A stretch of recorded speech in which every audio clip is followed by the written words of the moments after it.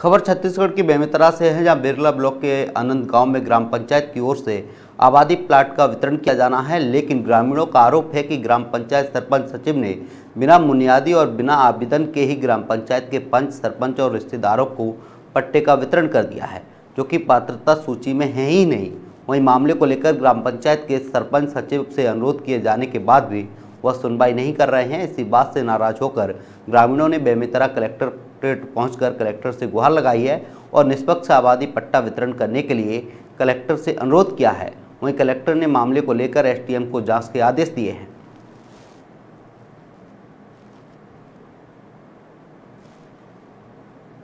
ये ग्राम पंचायत आनंद गाँव में, तहसील बेरला में पूर्व सरपंच द्वारा आबादी प्लाट स्वीकृत था, लेकिन उसमें रोक लगा दिए थे।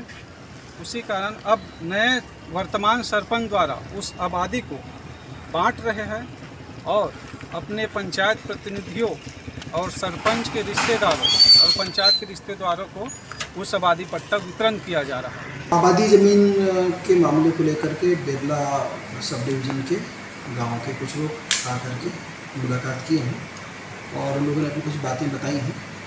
बिरला के एस को निर्देशित किया गया है। कि मामले को देख लें और आबादी ज़मीन पे जो भी पात्रता रखते हों, योग्यता रखते हों, उनको ही ज़मीन दी जाए।